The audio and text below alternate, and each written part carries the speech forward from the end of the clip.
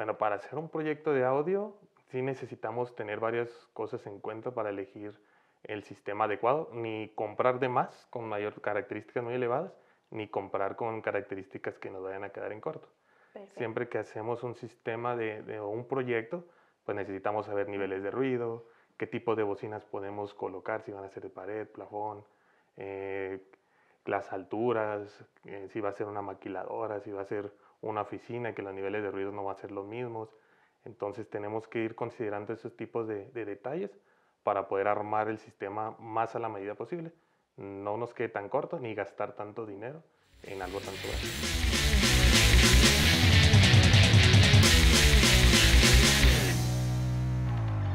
Hola, hola. Hoy nos encontramos con el ingeniero Luis Fernando Vargas. Luis, ¿cómo te encuentras el día de hoy? Muy bien, ¿y tú, Ale? ¿Cómo estás? Muy bien, muchas gracias por preguntar y también muchas gracias por aceptar nuestra invitación, Luis. Al contrario, muchas gracias por darnos el tiempo. Y bueno, pues Luis nos va a platicar sobre un artículo del CISNews que eh, pues viene relacionado al cómo seleccionar bien mi equipo de audio. Es correcto, vamos a tratar de eh, o este artículo lo que trata de hablar es cómo poder elegir un, un buen sistema de audio, eh, qué características fijarnos al momento de elegir nuestros, nuestros equipos y hay algunos, algunos tips.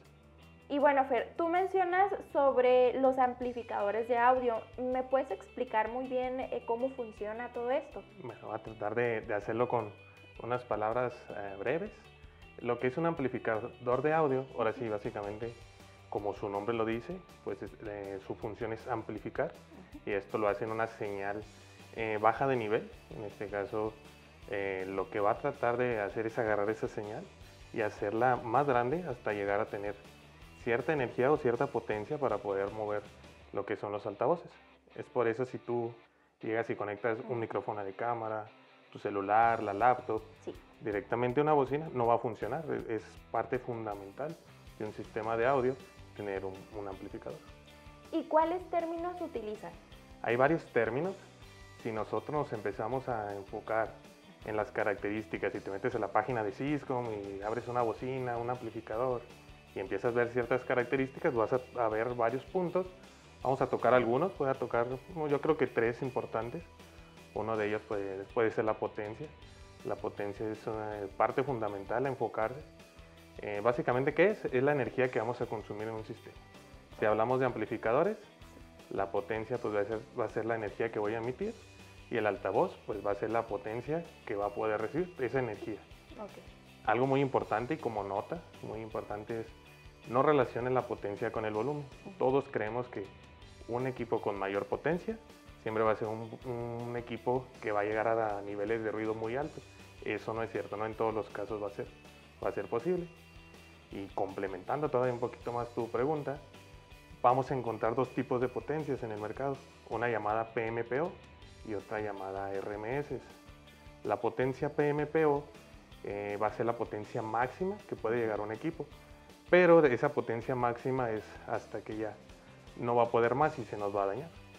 Es, ese, ese término, si nosotros no lo conocemos, puede jugar en nuestra en contra, porque si vamos a ciertos lugares a, a comprar a lo mejor un equipo y vemos, ah, esta, bocina es de 5000 watts de potencia y no leemos que es PMPO, en realidad esa potencia no se utiliza. Hay una segunda potencia que se llama RMS. Esa potencia, la, eh, ahora sí que va a ser la real. Esa potencia es la que, ahora sí mi altavoz es la que puede trabajar sin dañarse. Va a ser en sus óptimas condiciones.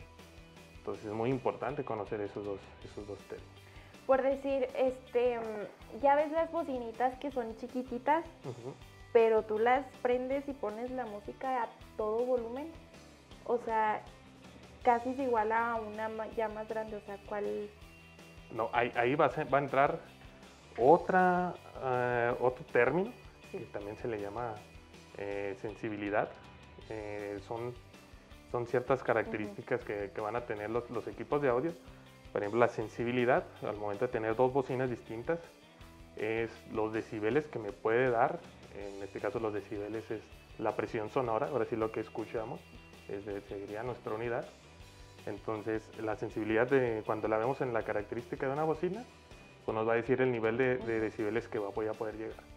Básicamente el fabricante pone una bocina, pone un sonómetro, el sonómetro el, eh, va a leer esos, decibeles, le inyecta un poco de energía o la que es la potencia y me va a decir a cuánto puedo llegar de ruido.